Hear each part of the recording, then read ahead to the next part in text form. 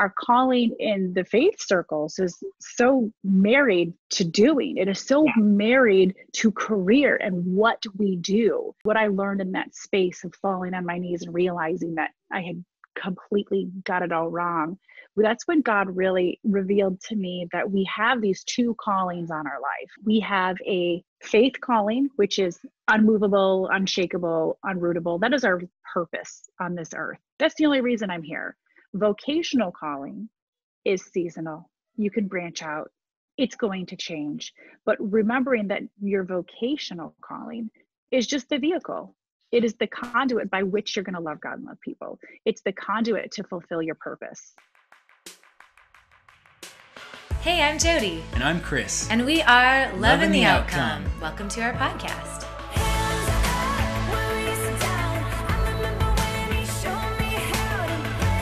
We're a husband and wife who rock out together. We're parents of Milo and Ziggy. And we're following Jesus as best we can. Our story began in Winnipeg, Manitoba, where we fell in love, got married, and decided to sell everything and travel in our Jetta, selling CDs out of the trunk of our car.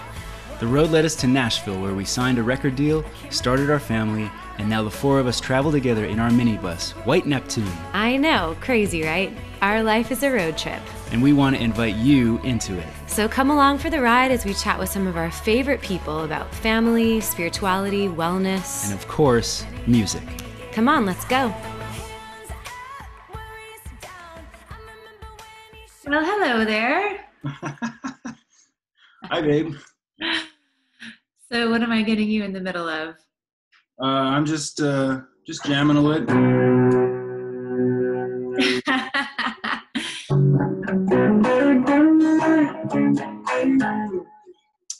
Well, I guess in honor of um, quarantine, this is quarantine life. All of our podcasts are Zoom, so we thought we'd zoom each other for a second as an intro to this video. I'm in the podcast corner, um, working on my own stuff, and you're in the music room working on your stuff.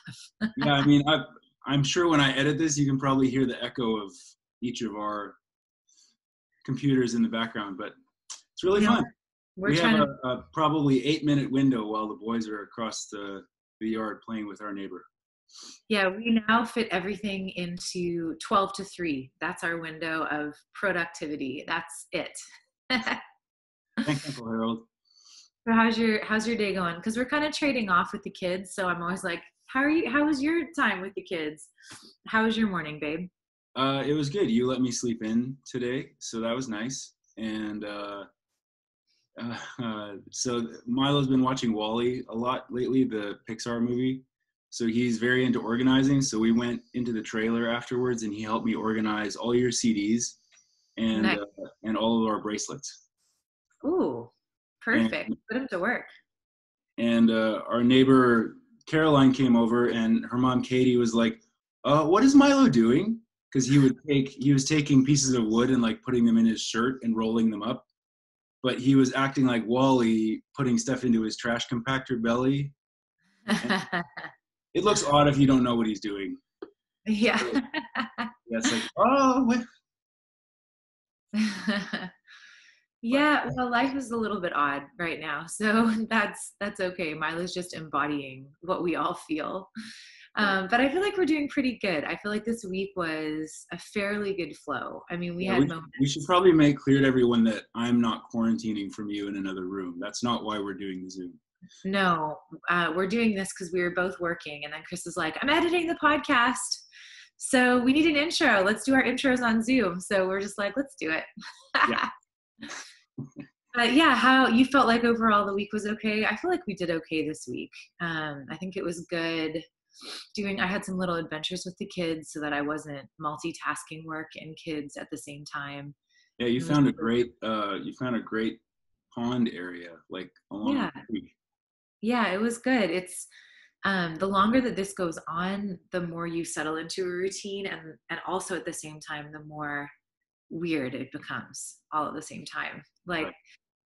Talking to Paula Faris on the podcast this week was like very personal, I felt, because her book that's coming out actually it's out now uh, by the time you guys listen to this podcast it's all about how she left her two dream jobs she was a an anchor on The View, and she was um, an anchor on ABC weekends. So like really high, high quality, incredible career topping jobs, and felt completely like it was the wrong path. Like her family life was rough. Her and her husband were not on a good good page.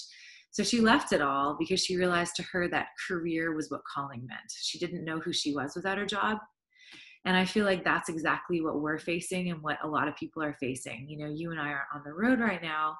Um, so we're doing other things like, but we're really realizing who we are apart and our identity, what it is apart from our career. So this one hit me hit me pretty hard. There was a lot of personal takeaways for me on this podcast. Yeah, I, I enjoyed the fact that she had. Uh, you, you'll see on the video that she has a sign saying "Welcome to the chaos," and but her room is like totally nice and neat and like a nice white background. And behind you is like complete chaos, like basically what's behind me because you recorded in this room. Music room slash playroom. Yeah. yeah, I know. It, there's no hiding our season right now, and that's okay because I think that's what everybody gets to be their real selves. Even if you don't want to be, you're sort of being forced in this season to look at your life and look what's on the inside because that's what's coming out in our reactions to each other and da da da. So it's a really revealing time, and I feel like her book is perfectly timed. I don't know if she meant, I'm sure she didn't know it was going to come out during quarantine, but I feel like a lot of people are probably struggling like what's my identity what's my worth apart from my job or people that are on the front lines that are working like such stressful hard hours and are probably having a lot of anxiety also kind of going where does my peace come from? You know is my identity in christ? Because if it is then maybe i can be on the front lines without losing my mind you know? So I think this is going to be a timely book. So for anybody who doesn't know who Paula Faris is, go follow her at Paula Faris, one R uh, in her last name on Instagram and on Facebook. She said she's mostly on Instagram. And she has a lot of wisdom to share, and her book is out everywhere you find books. And um, just go pick it up. I think it'll give you a lot of life in this quarantine season. And thanks for making it all come together, babe. You're so good at making it sound good and look good and produce all the episodes. I'm just realizing uh, you look amazing in this Zoom. I think, I mean, first of all, you you do look amazing in general. But I think your computer has a better camera than mine because this. Ah. I mean, I just perpetually look like I've gotten out of bed, which is not totally untrue. You have fluffy but, hair, and I'm not mad about it.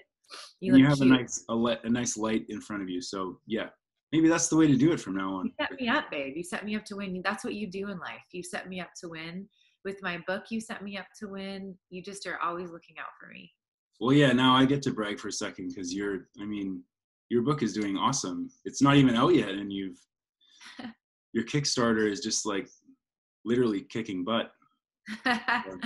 it is completely blowing my mind. I'm not going to lie. I mean, you know me. What have I said all this time? Like, I'm not an author. I can't write a book, da da da. And, but you and Holy Spirit didn't let me off the hook, and I finally did it. And you're right. People are just supporting it like bonkers crazy. It's incredible. Yeah. yeah because you don't have to spell to be an author. An author. Right. You can spell check for me. We're a team. Right.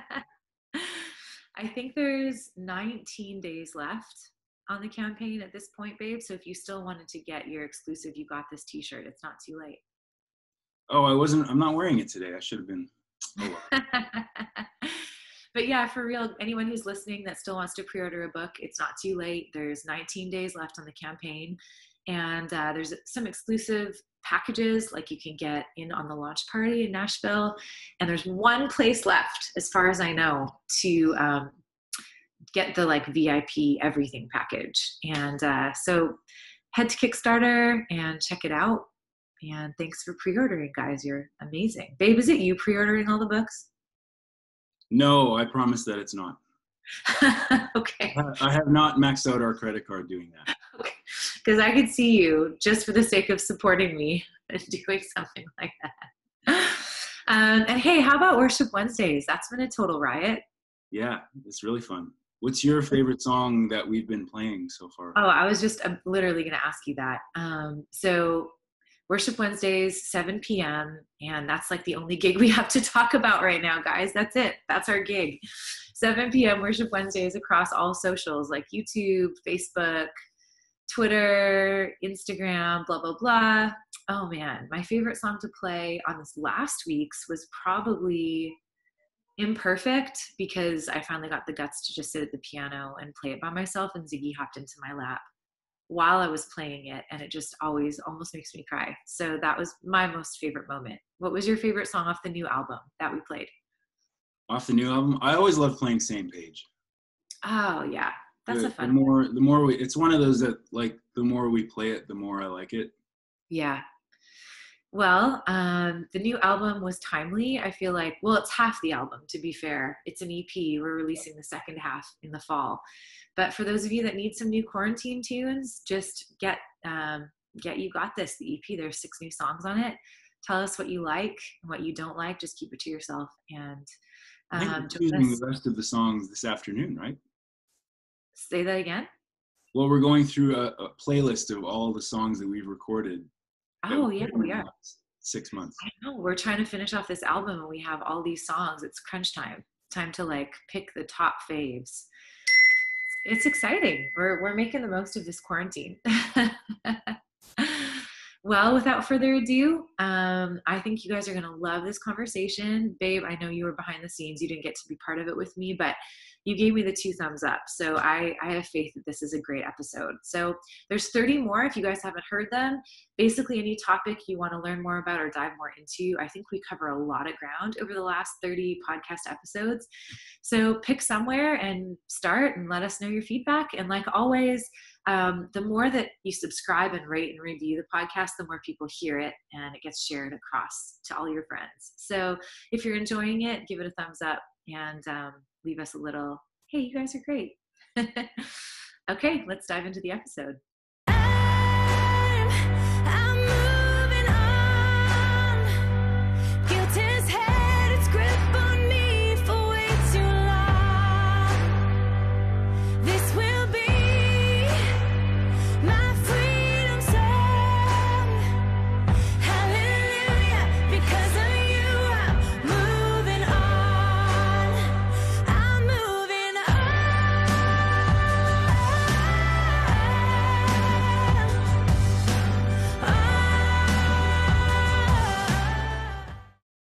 I love great. that you're like, like if I just look at like one half of your picture, I can see kids' toys, and the other half it looks like a recording studio. So that is right on point. That is right on point. I know.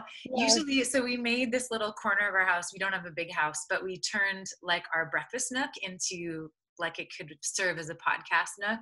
So good. But during this season, we have nap time, like from basically now for two hours to just make it all happen. So I'm in like the quietest corner of the house, which is yeah, toy. oh my gosh, I'm. I can I just say, Jodi, I miss nap time. We don't have nap time anymore because my kids are too old. They're yeah. 12, 10, and six. But nap time was like Jesus time too. Yeah. And it's just it's just never ending. Oh, I know. Never ending. Yeah. Oh, I guess every stage has pros and cons and everything. But, yeah. Oh wow. Yeah. Can you hear it that in the background? Was that a blender or a child? That was a child. exactly. that's that's right on. That is right on. There you go. There you go. Hey, you know what? Let's, okay. just, let's just do it. Let's just dig in and yeah. Great. I'm sure I'm going to have plenty of interruptions. So a dog barking, a child barging in, something. There's going to be some sort of like five alarm fire that's that's going to interrupt it, but it's all good. Well, I'm so stoked to have you on the screen in front of me and just be able to chat with you. This is a huge honor. Thanks for taking time. Oh, thank you. It's an honor for me. I really appreciate it. So, first of all, this is release day for your book. Am I right? Yes, it is. April Congratulations. 21st. Thank you. It's it's one of those days, you know, I birthed three physical babies birthing this has been different um, and, and some of the other authors that i've spoken to i'm like why do you do this to yourself it's it's so emotionally exhausting and putting your heart on paper and there's so many emotions that go into this terror excitement um, tears nerves nausea I mean, all of the above, you're feeling it. And it's such a long process, the literary process. I turned the book's manuscript in almost a year ago. And so um, it's just the gestational cycle for in the literary space is, is so much longer than what we're used to. But mm-hmm. listen, I'm I'm really grateful. I never thought I'd write a book. Um, the joke is I'm an open book. I just never thought I'd write one, and I didn't want, and I certainly didn't want to write a book just to write a book.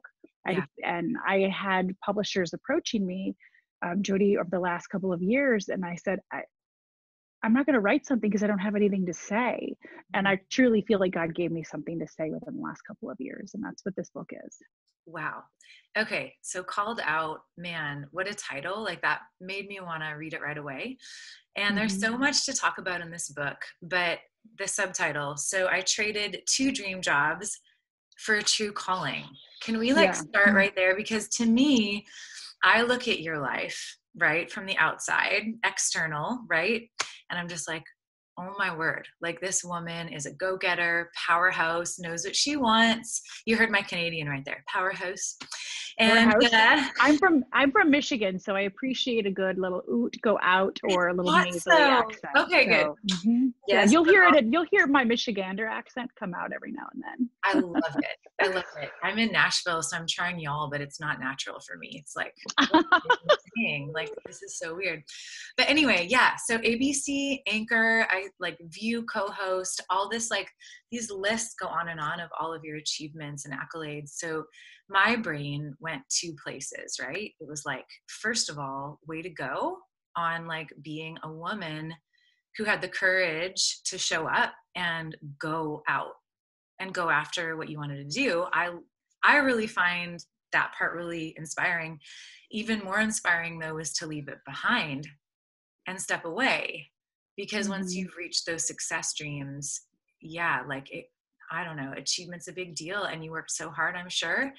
And then to feel like stepping away. So I there's these two sections of your story because I you're a new friend to me that I really want to dig into because I'm an achiever, right? You're talking oh. to a girl who left mm-hmm. Winnipeg, Manitoba, Canada, lived in her Jetta, sold CDs out of the trunk of her car, all with this dream and this voice that I really was sure was the Lord calling me to share my music. And nobody else was asking me to do it, but I felt like I was supposed to. Yeah. so the intersection for me personally coming into this podcast with you is like very personal for me because mm. I can relate to a lot of your book and your highs and lows and struggles with it all because when my passion became my paycheck, things get interesting. It changes a lot. And so I've had highs and lows within it all. And I just wanted to start at the beginning and go, why did you? Why did you trade in, you know, yeah. two dream jobs um, to go after your true calling? Let's start there.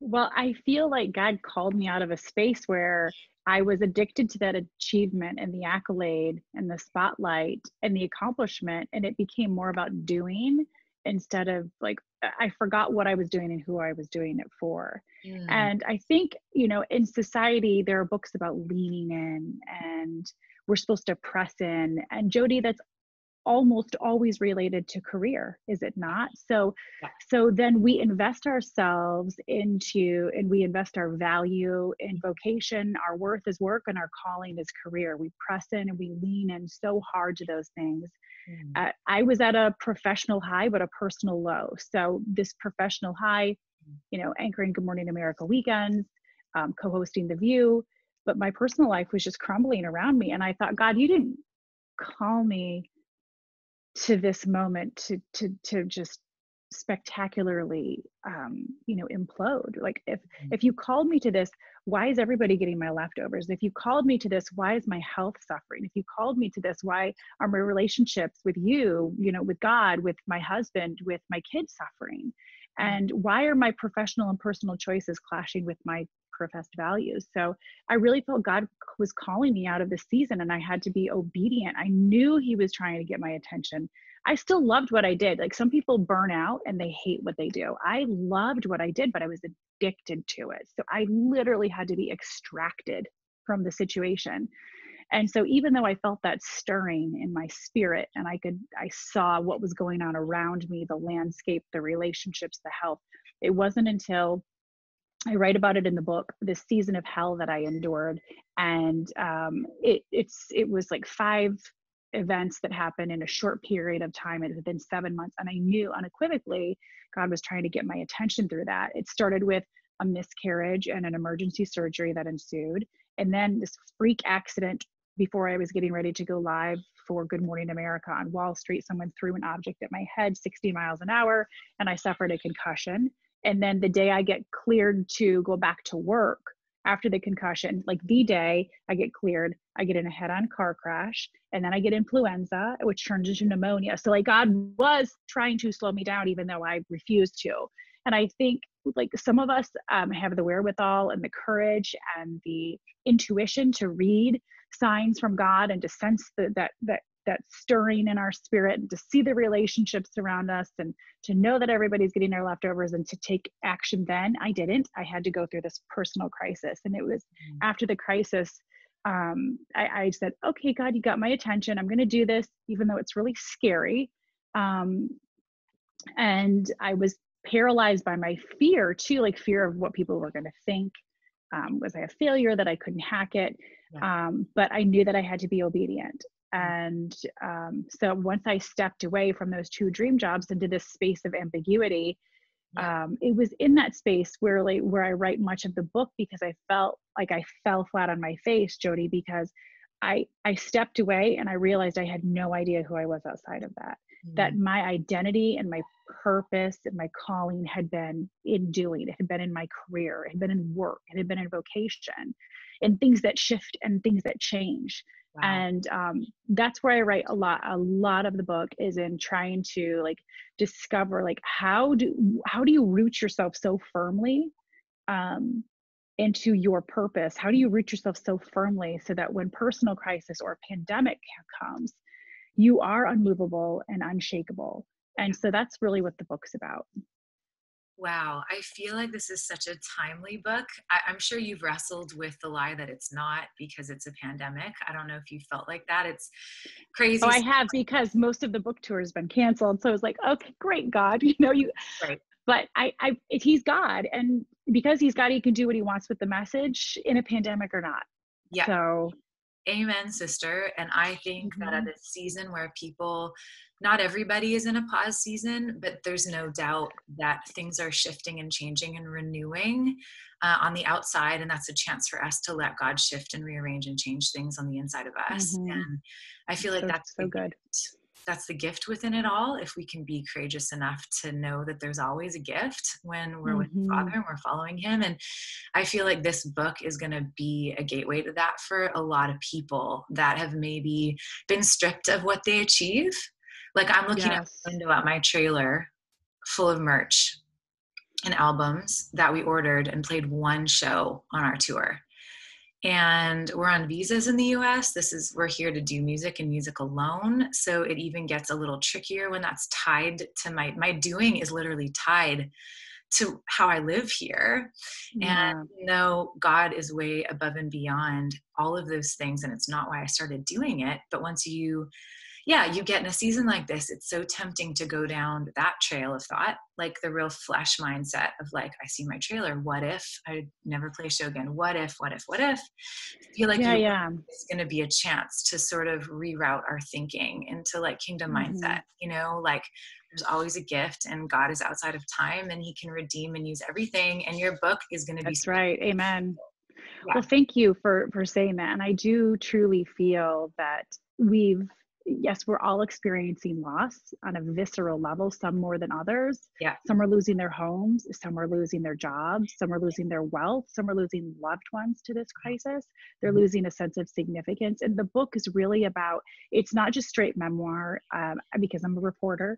I right. interview other people who have misplaced their significance and yeah. their purpose mm-hmm. and how we have discovered to find, you know, discovered that unrootable purpose but i do think in a moment like this like god had to use for for me and i don't want this to be about me he used a personal crisis yeah. to get my attention and i do think god does allow things to happen. I think God is giving us a giant reset button right now in this global crisis.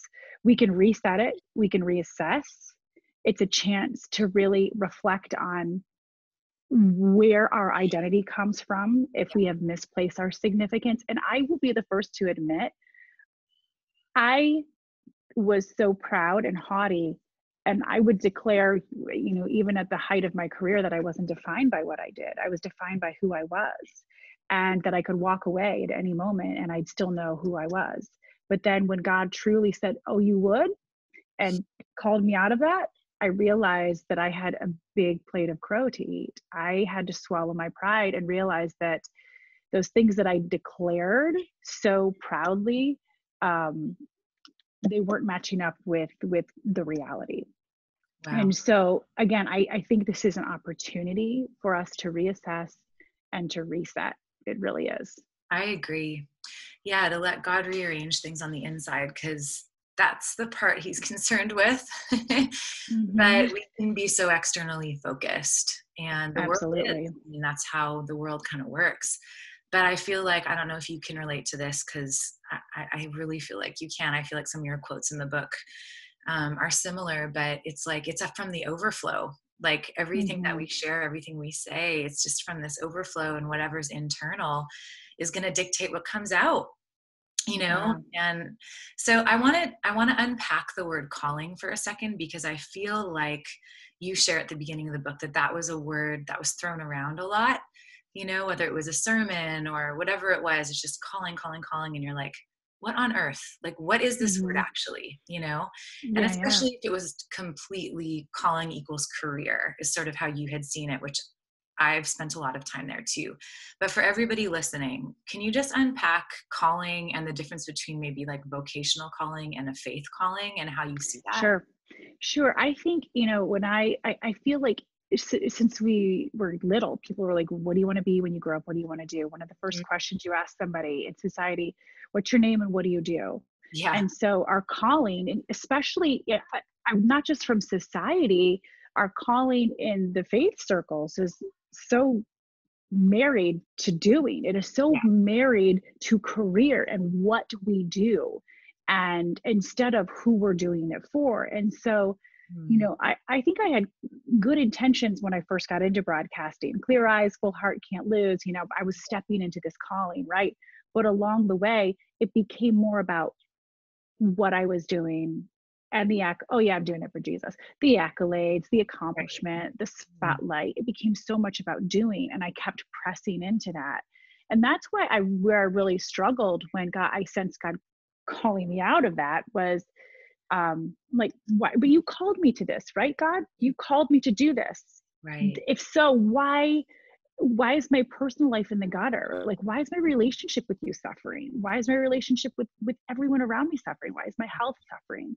And so i think w- when i learned what i learned in that space of falling on my knees and realizing that i had completely got it all wrong that's when god really revealed to me that we have these two callings on our life okay?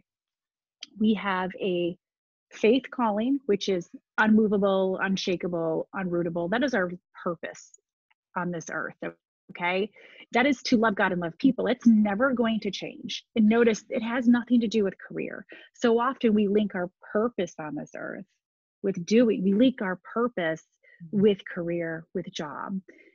For me, faith calling won't change. It is my purpose. It is to love God and love people. That's it. That's the only reason I'm here. Vocational calling is seasonal. You can branch out. It's going to change. But remembering that your vocational calling is just the vehicle. It is the conduit by which you're going to love God and love people. It's the conduit to fulfill your purpose, the conduit to fulfill your faith calling. So, oh, there's a kid. Landon, can you say hi? Uh huh. Hey, My purpose on this earth, and for those that are listening and can't see, um, Landon, can you come here? I want to show Jodi your your mullet. My mm. purpose is on this earth is not to be um, a hairdresser. Um, for those that are listening, I gave my husband started it and I kind of finished it.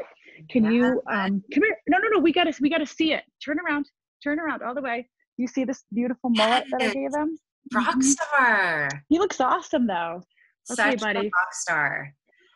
See, my kids She's have cute. me near and their mullets are like it is so real. Ziggy's bangs are longer than mine. Like neither of us can see. It's out of Yeah, yeah. I mean, you're from Canada and I'm from Michigan. I think you and I can appreciate a good mullet, a little business on the top and party on the bottom.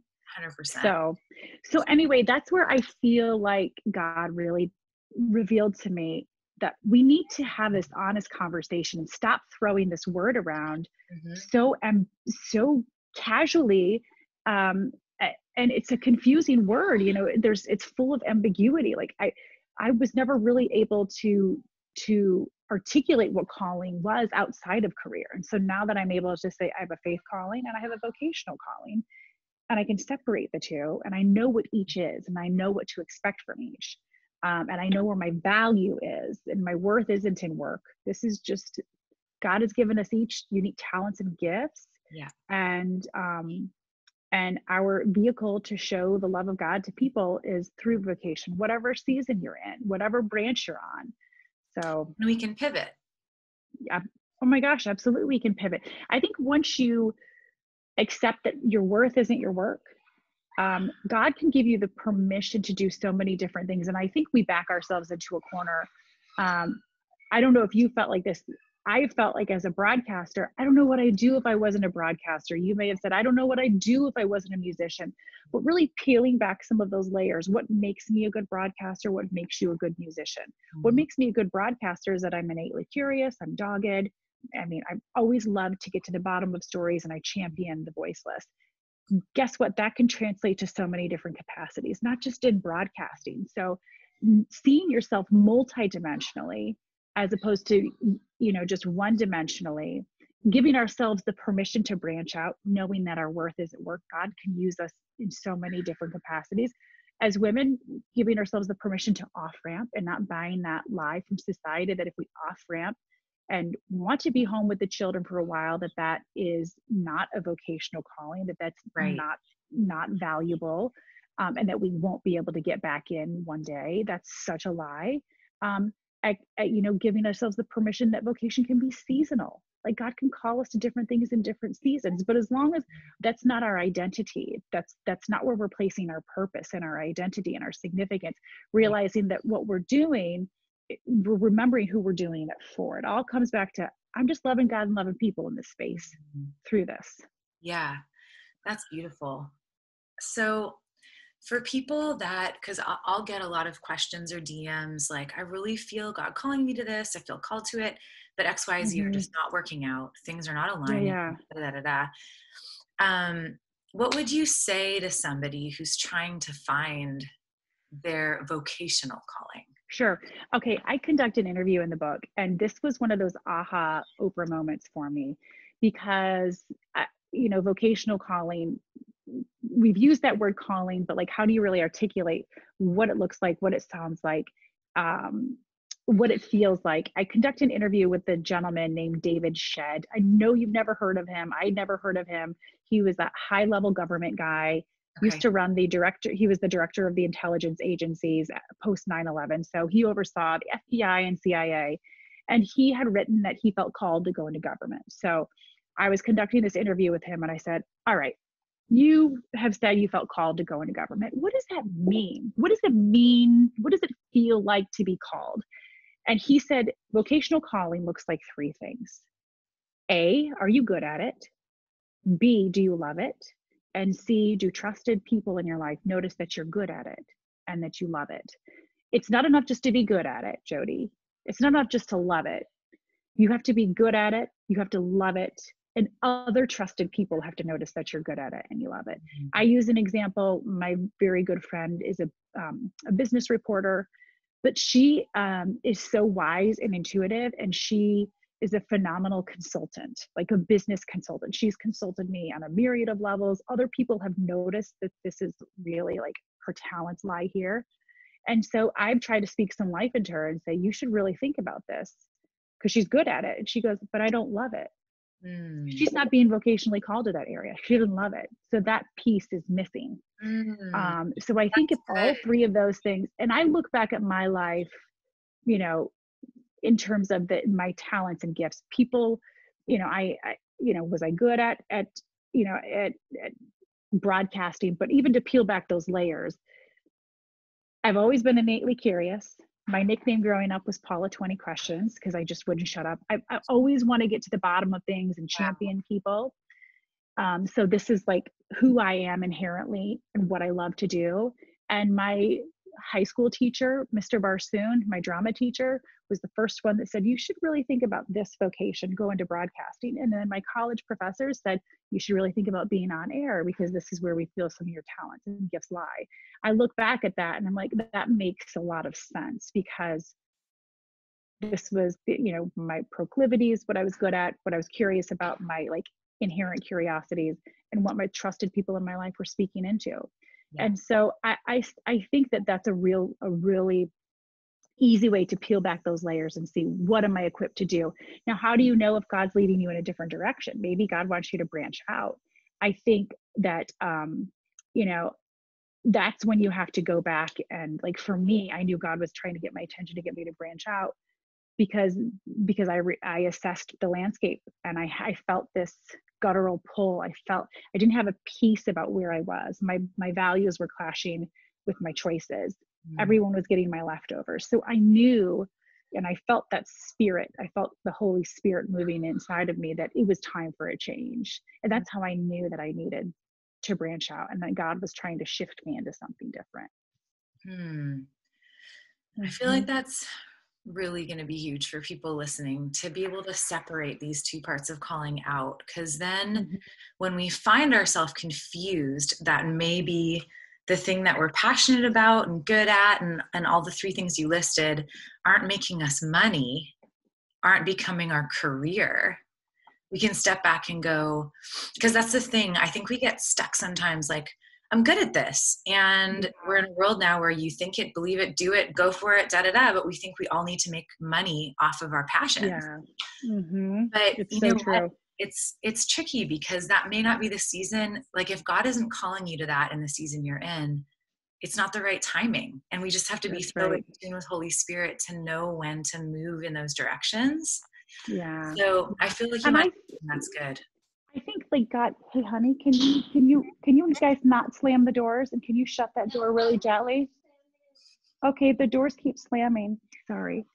Totally okay. Um, no, I think like when you sense that that tug and you sense the spirit moving and you take an honest look and assess your landscape and what's going on. And I, I think for me, like I I had to listen to God too. It's not like God was like, I want you to go in this direction, or, you know, I, I, I had to just step out in faith at the beginning. And I think so many of us we're paralyzed by our fear of what we're walking away from and then mm-hmm. what we're walking into because it's the unknown. And God didn't really reveal, he, he wasn't like, I need you to step away from this and then I have this landing spot for you. I had no idea where I was walking into this season of total ambiguity and I still kind of feel like that but um, I think we should expect and anticipate fear anytime we're making a decision, um, big or small, but especially bigger decisions. And not only expect and anticipate it, but um, we need to press into it. Um, I love that verse in Joshua where where Joshua has been tasked to take down the city of Jericho. It's in Joshua 1, and he's asked to circle it circle the city seven times. I don't know why. I mean, sometimes we feel like we're circling, but I think God tries to refine us and to see if we're obedient. So he asked he asked Joshua to to circle the city seven times, but then he says, "Have I not commanded you? Be mm. strong and courageous. Don't be afraid and don't be discouraged, for the Lord your God's with you everywhere you go." We are commanded to press into that fear. We mm. are commanded to push into it Wow. We have to take that first step. It's like Martin Luther King says, faith is taking that first step when you can't see the rest of the staircase. Mm. Okay. Mm-hmm. We are commanded to do it. God acknowledges the fear. Don't be afraid. Don't be discouraged. He acknowledges that it's going to be there, that it's going to be present, but he promises that he's going to be there with us through it at the end of it.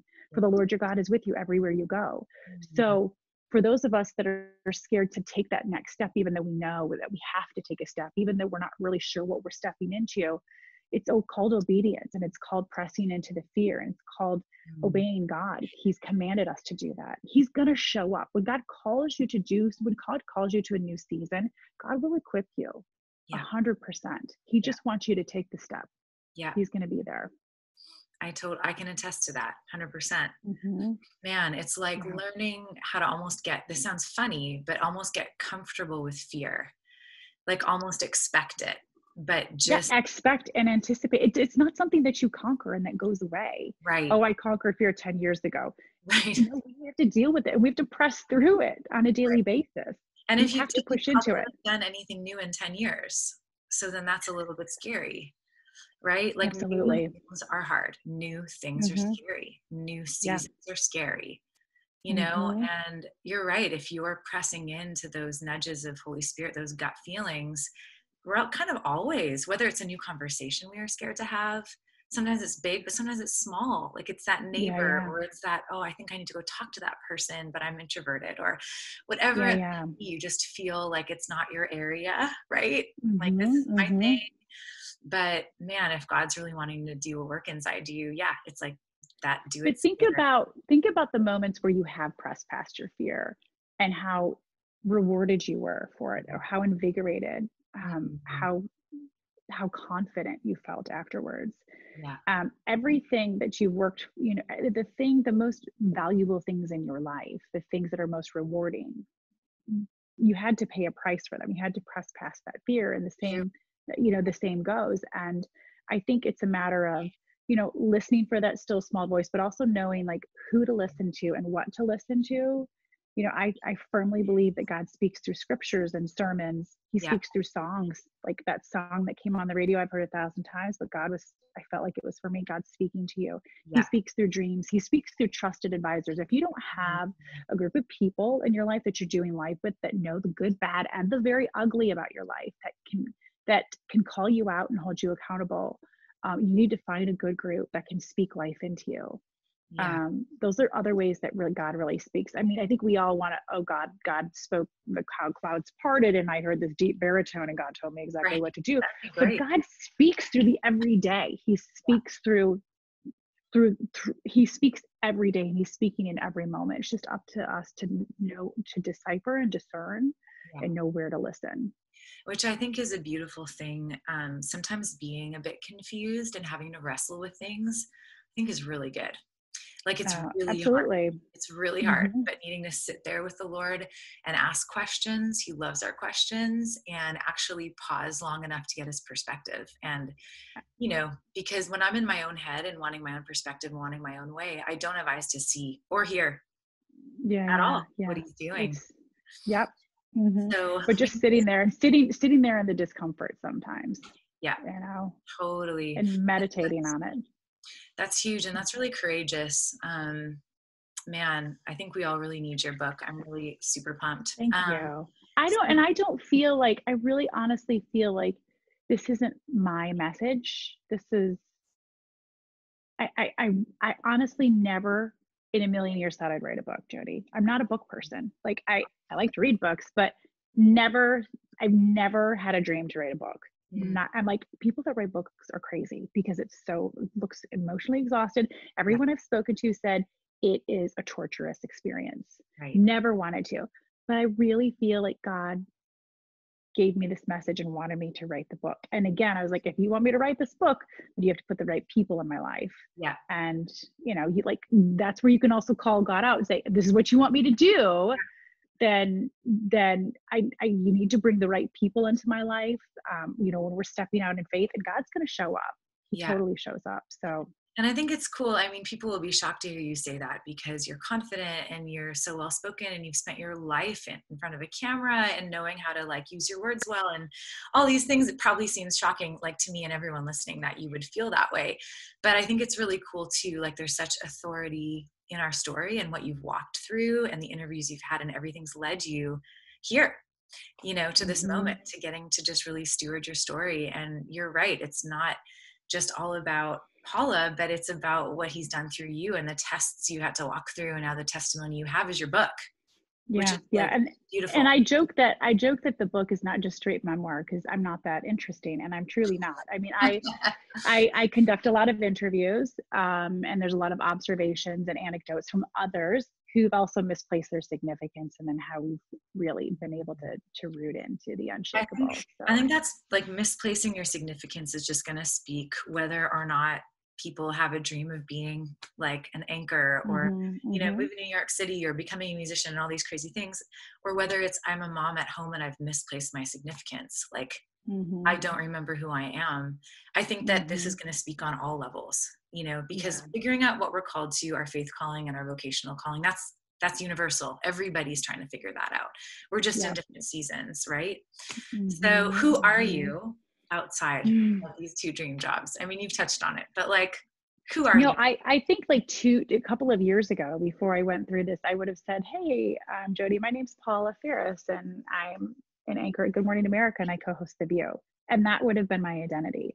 So now my purpose and my identity is totally rooted outside of career and doing. I say, Hi, Jodi. My name's, you know, I'm, my name is Paula Faris, and I'm a wife, mom. I love Jesus, and I'm curious, and I'm a question asker, and I champion the voiceless. You know things that aren't tied to career this is just inherently who god's made me to be. Yeah. and um that's my purpose. Like that's and this pandemic isn't changing that. It's not changing any of that for me. Um so i i feel like yes we're all wow yes we are all being affected um, on different levels um I feel because I was able to go through that crisis, I, I know who I am. Yes, I, I am affected in, on a myriad of levels through through the pandemic, but it's not uprooting me. It's not Yeah. shaking who I am Yeah. anymore. Yep. That's huge. I mean, people have asked us that too. You guys aren't home, you're not touring, you don't have any other jobs. Like, how is this? And it's funny, Chris and I sort of chuckled and we were like, man, we've had some really rough times over the last couple of years. This isn't really, we've kind of gotten to know God as provider. We've had to know him in that Mhm. way. You know, we've kind of gotten to know God in these ways that until you're desperate, you don't know him as dependable in those ways. Yeah. Sometimes it takes those hard seasons. So it's like getting comfortable with fear, also getting comfortable with the fact that, like, yeah, you're right. God is the same as he was before this all hit. And I've gotten to know him intimately in some of those ways. And so I'm, I don't Mhm. feel quite as shaken um, as I as I maybe would have a couple years ago. Going, I'm not doing what Yeah. my identity is. I'm not selling my merch. I'm not singing my songs. I miss those things. I think in a Mhm. healthy way, like I get a lot of joy and a lot of life. Like yeah, and there's nothing wrong with that. I mean, that's normal, of course. yeah, yeah. But I'm not sitting here completely like devastated and who am I? But I And would- lost. And lost. But that happened when I lost my voice, which this is not about that story. But I lost my voice and like literally found his in a season of six months of silence because I couldn't sing a note. And so Wow. I know what you mean. Like we hit those personal crises and we're just like, wow, okay, there's some stuff. I Yeah. really look at myself myself right now. Mhm. Yeah, and I mean, I mean that's so freak that you would, as a singer, you would lose your voice for an extended period of time. And there's no doubt that God does allow a crisis every now and then, Yeah. individual, global, for us to to reassess and Yeah. to reflect and to reset if needed. 100%. Absolutely. Well, I think this is a book for this time, and I'm super stoked that you had the courage to write it and step Thank out you. and like step in in a new way and Thanks, totally gifted that. yeah to chat with you like what a dream and seriously like i was so stoked for this i even put on like some jewelry you can watch the hair a little bit you know It's like your hair looks really great. I was gonna say you've got the denim in black and a little bit of gold going on. Um, I, I feel like I'm a little bit of a hot mess. And who would have thought that my children would have interrupted this podcast more than yours? you know what it's like you said though before we started i still get nap time Mhm. that's what it is Yeah. that's the only reason Uh-huh. otherwise they would have been an hour ago i wouldn't have been alone they would have been playing the drums and Yeah. trucks so Yeah. okay Mhm. before I we go it.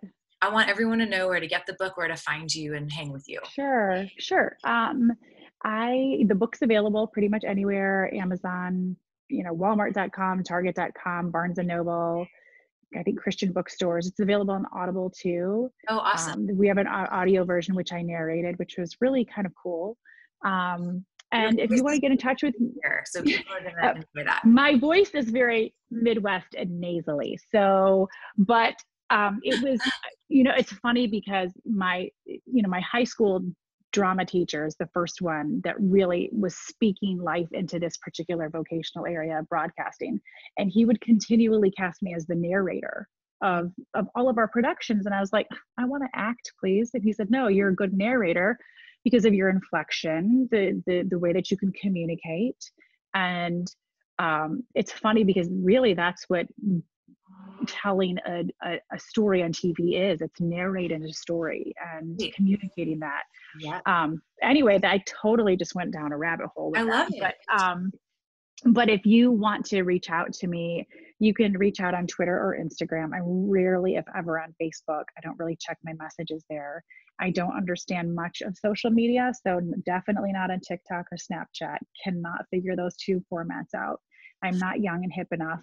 But if you reach out to me on Instagram, I usually respond. And my handle on Twitter and Instagram is the same. It's my first name and my last name, just Paula Faris with one R and an A. F so like Frank, A R I S like Sam. Perfect. Yeah, F A R I S. Okay. Just like um, Paris, oh. but with an F. Ooh, there you like go. Frank. remember that. I know. We don't want yeah, to be exactly. right now, and we probably doing too much online shopping. That's going to stick. Um, but yeah, all that, I'll, link, I'll, link, everything in the show notes for everybody listening. Um, before we go, okay, quick lightning round, like two or three questions. Are you game? Of course. Yeah. Yeah. Totally. Mm-hmm. Okay. Favorite food? Bacon. Yeah, girl, come over every morning. Mm-hmm, mm-hmm. Um, My husband asked, "What did I? What did I need this morning?" I said, "Coffee and bacon." And fine. I'm good. Literally every morning we make bacon. Mm-hmm. It's the best. I love it. Mm-hmm. Um, what's your favorite date night with your husband? Ever? Or like, what's um, your story? What's your dream? Like, this is my favorite date night when we do this. Okay, I'm not a romantic. So for my 40th birthday, I'll give you an example. This isn't lightning. This is like the extended thunderstorm. Sorry, oh. everybody. my I asked my husband to take me to Buffalo Wild Wings so we could watch football um, for my birthday the following year, I asked him to take me to a Michigan football game. So I love sports, and that makes me a little weird. Um, no, but yeah, that's a perfect date night for me. Is you know, beer, wings, casual, good friends, good conversation, sports. Oh my goodness, your husband loves you so much. Like his dream night too. That's perfect. I know my husband gets me jewelry, and I'm like, mm, no thanks. So yeah. a sports girl through and through. My dad coached my basketball team. It was music or sports. So, girl, mm-hmm. feel you. Um, okay, last one. And this is kind of loaded, but um, God is teaching me right now. I'm learning right now. Fill in the blank. I'm learning to give myself grace and give my kids grace. I'm also learning how to homeschool my kids, and I'm learning how to um, be a hairdresser and those last last two are failing spectacularly mm-hmm. such a good answer mm-hmm. that's solid yeah, yeah. and i'm also learning how to limit my alcohol intake after seven oh girl. so i told my husband i was like okay one drink a night so because it's been tough we're all on top of one another so i don't want to keep turning to it for yeah you know i know for comfort like so. it's day night but I feel like Margarita Mondays is a thing. Is that a thing? Uh, every day. Uh, it's Margarita Day. right. Exactly. Every day is Margarita. Chris and I literally Margarita had day. this conversation last night. Like, okay, let's talk about this. I love it. I love that. Honestly, it's so good. Well, I think that we would have a lot of fun having margaritas together someday. But yes. I'm super thankful. Maybe that'll happen. Maybe that'll happen when the nation and country and the globe is not shut down. So. Yeah, I know. Believing that day is coming. It is. Oh, you're awesome. Is. Thanks for taking the time. And uh, everyone's going to love this convo. You're the best. Go oh, get after Thank some. you. Jodi, thank you. Thank you for blessing me with the conversation. And thanks to everybody for supporting the book and for listening. Um, I'd love to hear your feedback. Absolutely. Thanks, okay. Paula. Thank you, Jodi.